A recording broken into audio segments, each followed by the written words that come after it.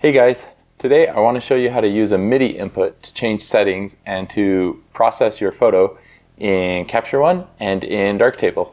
All right, let's get into it.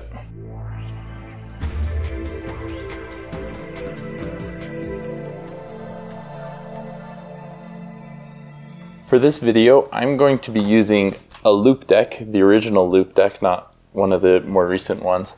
But really, all this Loupedeck is, is a glorified MIDI input that has knobs instead of keys and labels that are particular to Lightroom.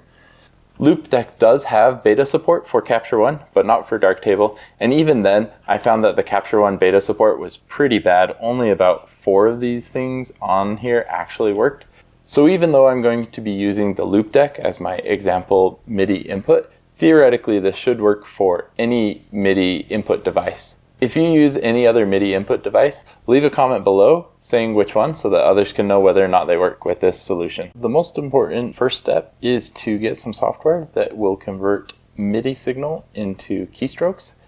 I have had success using a product from BOME, B-O-M-E. They have this BOME MIDI Translator Pro, which you can use as a trial the trial allows you to use it for 20 minutes and then it will stop working. I also have used the MIDI Translator Classic. Unfortunately, this is Windows only, but I actually really like this because it doesn't work only for 20 minutes on the trial. You can use it indefinitely on the trial. So if you're on Windows, I recommend using this. It's going to be largely the same as the MIDI Translator Pro, I think if you watch this video, you'll understand how to use MIDI Translator Classic as well. But I'm on Mac right now, so we are going to use MIDI Translator Pro.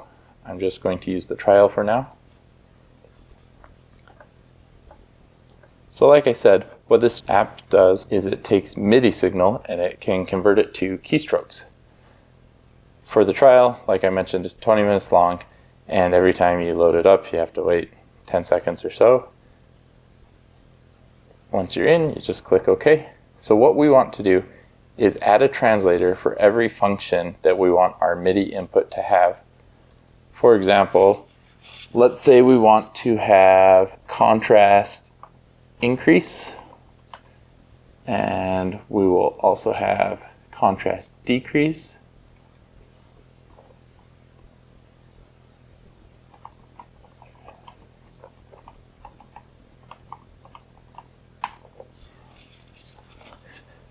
you'll see a couple things on here. The incoming trigger, so that's the input from the MIDI device, and then the outgoing action, which we will make a keystroke.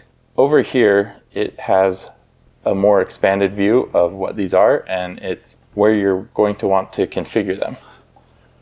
So for me, with my Loupedeck, I want to capture input just from the Loupedeck. So if I had any other MIDI device, it wouldn't read it incorrectly.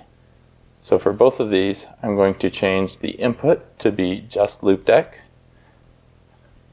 And whatever MIDI device you're using should show up here. If it doesn't, you should troubleshoot that before going any further. So let's work first on contrast increase. So we've selected Loupedeck as our input, and then I have to capture the input from my MIDI device.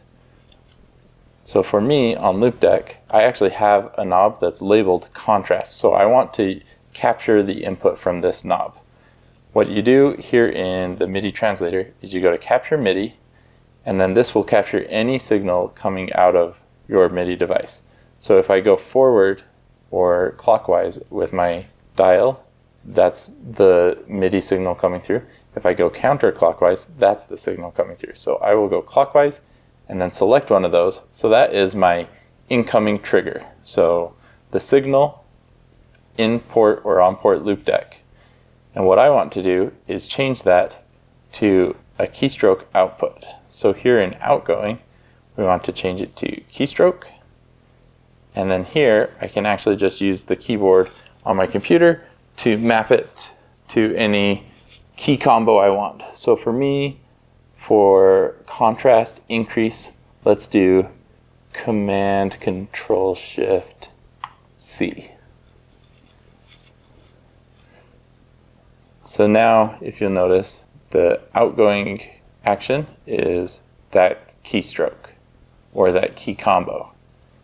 So for contrast decrease, let's go back here to capture MIDI. I can't remember which one of these is the correct one, so I'm just going to go decrease here, and that's the correct one. And then let's go down here for the keystroke that we want to set. And since we did Command Control Shift C for contrast increase, let's do Command Control Shift V for contrast decrease. And then let us save this. And it saves it as a special file type, this BMTP. So I am going to name mine Loupedeck.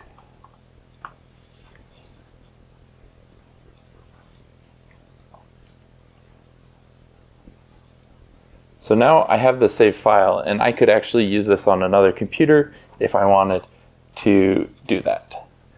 Now that we've set a couple of these triggers, let's go into Capture One and set custom shortcuts in Capture One that correspond with these. If you're only interested in Darktable, skip to the timestamp that I'm showing on screen right now. Okay, so in Capture One, to change the shortcuts, we want to go to Edit and then Edit Keyboard Shortcuts. It will start off with the default shortcuts. I like creating my own that is named. So that way, if I ever need to change back to the defaults, I can easily. So I'm going to create a shortcut named Loupedeck. And then you can have all of your special shortcut keys under the same name. So there is already something set for contrast plus one and minus one, but I'm going to remap that to what the MIDI controller is outputting. So there's my contrast increase and contrast decrease. And then if I hit close, so now if we go back to our MIDI input device, whatever key or knob or whatever that we mapped to these contrast settings, we'll want to test this out. So for me, it was this contrast knob. And when I increase it, sure enough, our contrast increases. And then when I decrease it, our contrast decreases. So that is working wonderfully for me. The other knobs are not working for me because I haven't set up any of the shortcuts for them. But once I map all of these, I can have every knob doing whatever I want. So now that we've done this in Capture One, let's go into Darktable and show you how to do it there. In Darktable, we'll want to edit our keyboard shortcuts by going to this little gear icon and then over to Shortcuts. You can import and export or you can set back to default. For now, I'm just going to modify the ones that I want. So let's go into image operations, and then I want to change our contrast. So let's go to here, contrast decrease. If you remember, we had that set to Command Control Shift V.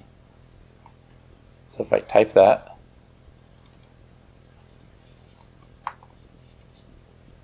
says it's already mapped but I'm going to replace it for our sake.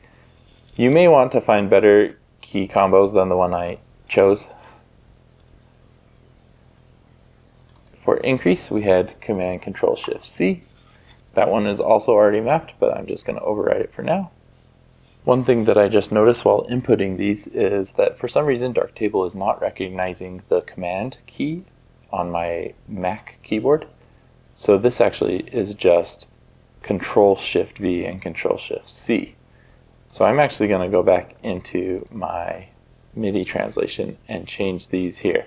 I probably should have chosen a better key combo for these, but for this example I just chose the first thing that came to my head. So I'm going to do Control Shift C for control contrast increase, and I'm going to do Control Shift V for contrast decrease. So now back in Darktable, if we first off test out Control Shift C, we see contrast goes up, and Control Shift V, contrast goes down. And now we'll go to our MIDI input and we will test that knob. And sure enough, as I move it counterclockwise, our contrast decreases, and as I move it clockwise, our contrast increases. That's really all there is to it. It's pretty simple, just sort of tedious. It took me about an hour to set up all of the knobs and dials on this Loupedeck, But if you only wanted to do five of these knobs or a handful of these knobs, it would obviously take much less time. Thanks for watching. I hope you have great success doing this with your own MIDI devices. If you do, make sure to leave a comment below saying which MIDI device you used and which software you are using it with so that we can all benefit. Okay, thanks. Have a great day. Bye.